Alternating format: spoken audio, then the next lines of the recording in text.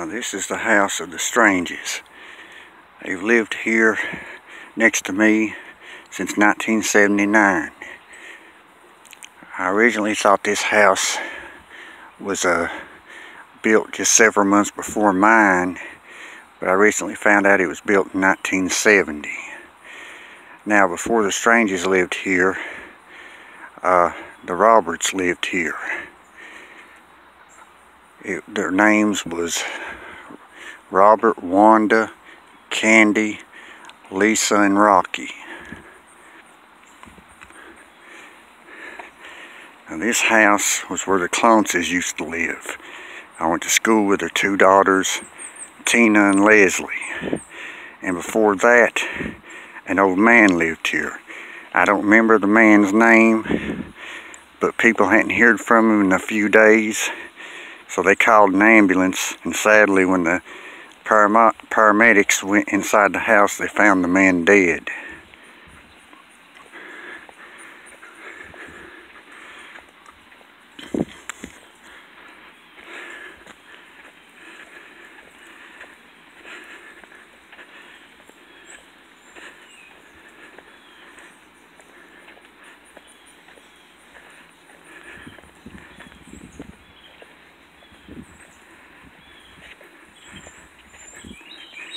Now this is the house of my friend and neighbor, Joey. He preaches from time to time at the Kingdom Hall. One thing that I really respect and like about Jehovah Witnesses preachers is that they get paid nothing to preach. They don't get paid any money. They're in it for, just for the love of the Lord.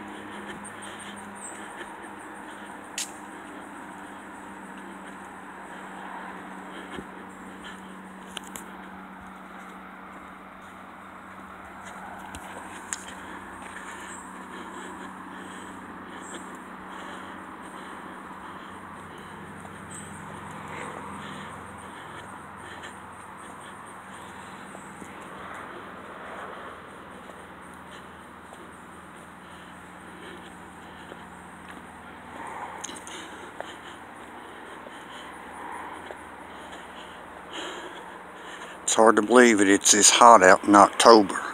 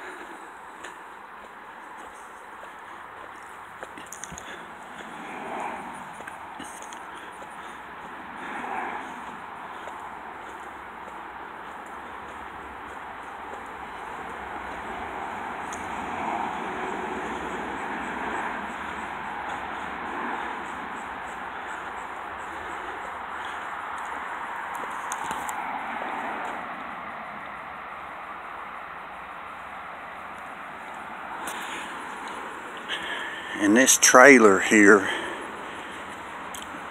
a man used to sell vegetables here, but he stopped doing that a long time ago.